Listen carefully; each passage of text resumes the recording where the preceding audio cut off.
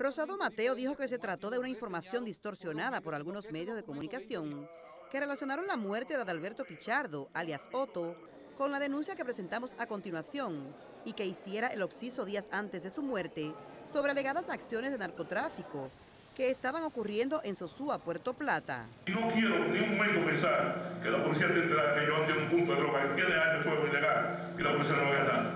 ¿Tu nombre? Porque creo en la policía y no creo que la policía esté enterada. Y si no estaba enterada, ahora está enterada. Cagaban con dos escopetas, una pistola y un revólver. Lo que ha habido es una distorsión muy lamentable por parte de algunos comunicadores que difundieron la especie de que esto se había tratado de un hecho como consecuencia de un ajuste por una información.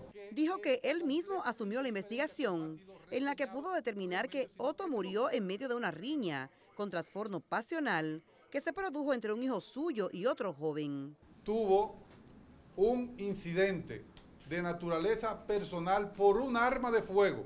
En otra información, la DNCD anunció el desmantelamiento de una banda en el ensancho Sama dedicada al lavado de dinero proveniente del narcotráfico.